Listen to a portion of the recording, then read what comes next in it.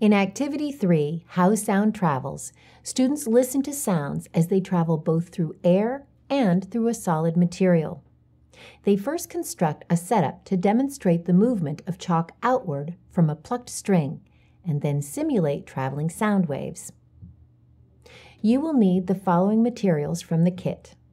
Activity Sheet 3 Wooden boards, screw eyes, colored chalk, nail, and string. You will also need to provide plain paper, pencils, scissors, metal spoons, hammer, and paper towels. To prepare for the activity, make a copy of Activity Sheet 3 for each student. For each team of two, cut two pieces of string, one piece 1 meter long and one piece 50 centimeters long. With a hammer and nail, make two shallow holes in each wooden board one hole at each end, one centimeter from the end.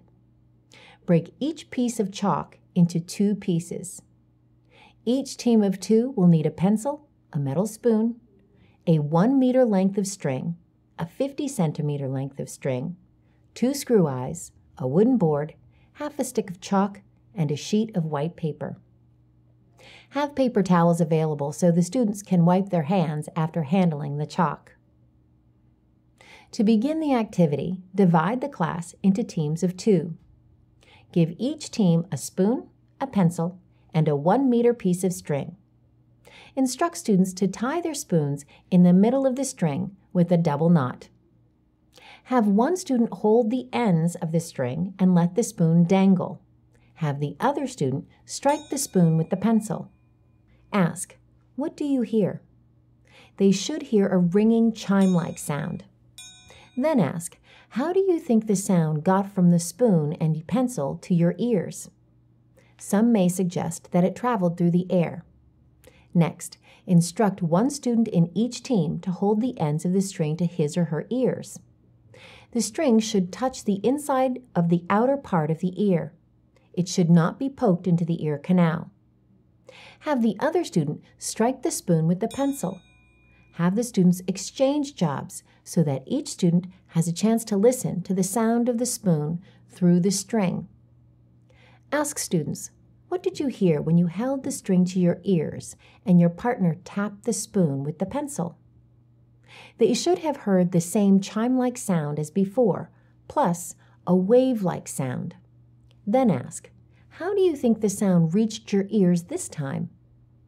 Students should suggest that sound traveled both through the air and through the string.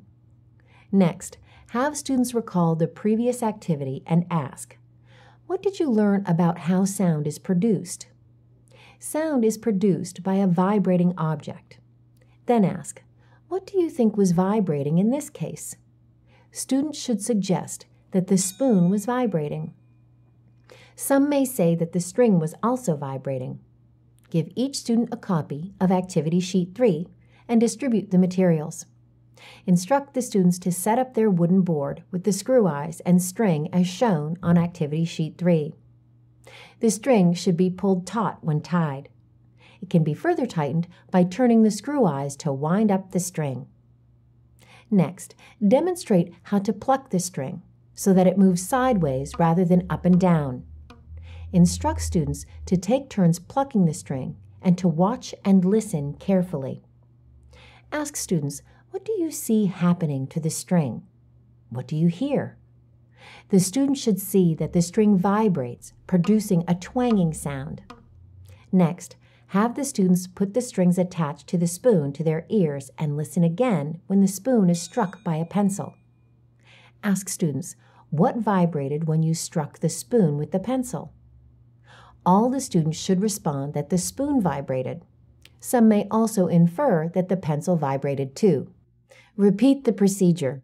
This time, the student who strikes the spoon should press both sides of the string above the spoon between his or her thumbs and forefingers. Give both members of each team a chance to listen through the string. Then ask students what happened when the string is pressed between the fingers. The sound stopped because the string stopped vibrating. This time, the vibrations of the spoon caused the string to vibrate.